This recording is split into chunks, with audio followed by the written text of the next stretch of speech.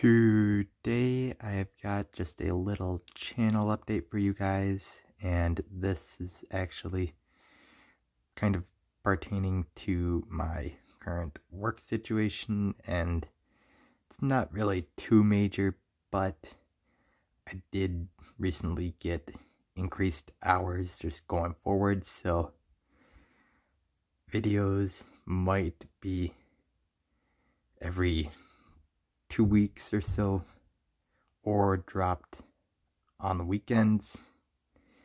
And as for city updates, they hopefully will still be the 28th. Can't really guarantee that at the moment. We'll just have to see how the month of January goes, but with the new work schedule, because it's going to be more hours.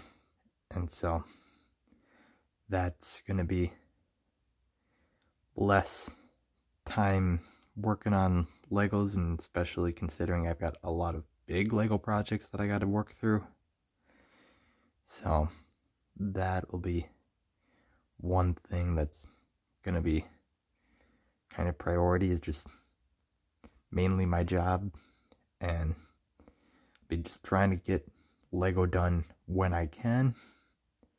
So, city updates will hopefully stay the 28th, but dropping regular videos will probably be every two weeks.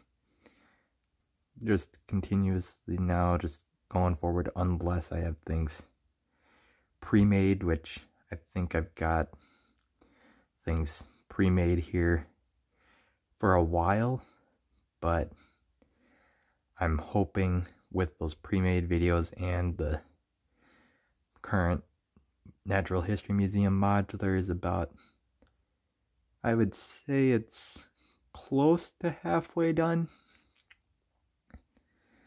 We're hopefully going to have that in part of the city because another thing is we got to still redo the other half of the layout which will require getting taken apart. So that's another thing we got to factor in as well.